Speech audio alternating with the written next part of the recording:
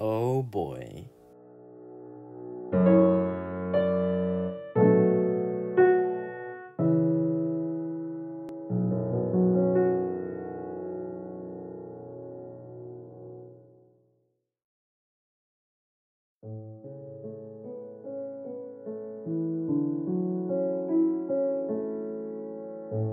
Let me tell you about the history of the Shanty Shack SMP from when I joined in. My friend Akfias told me about a server which had the capability to run both Java and Bedrock together, where I would consider joining a few days later. And our main goal in the server was simply to make a giant hole.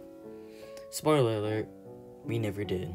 In the beginning of when we started, Spawn did not have any supplies for us to begin with, and the spawn was dense as well, with houses and markets. We did not want to live in spawn, and we moved out into a more empty space.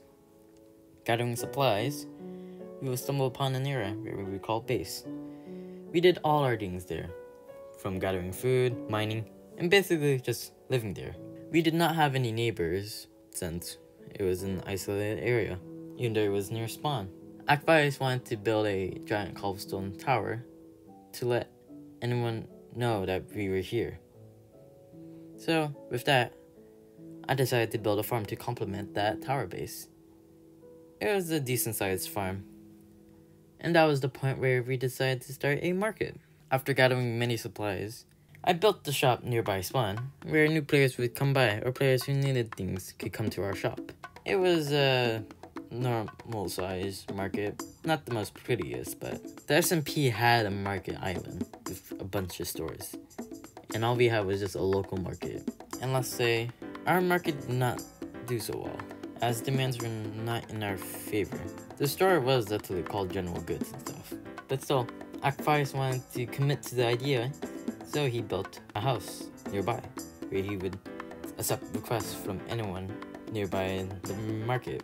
He also renovated an abandoned village that seemed to be destroyed by players and creepers.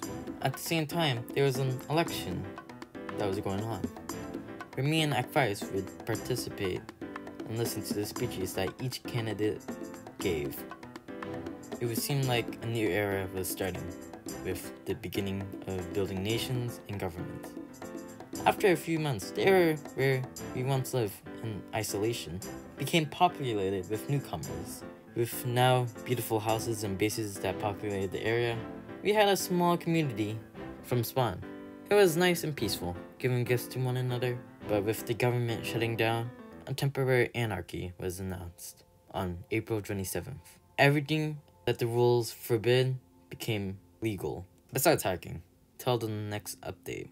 Me and Akfias decided to stock up on supplies and get ready to either go on the offense or defense.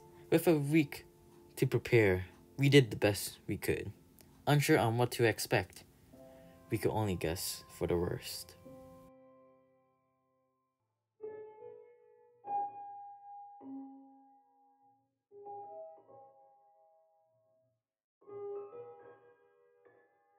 Now for the main part, the anarchy itself.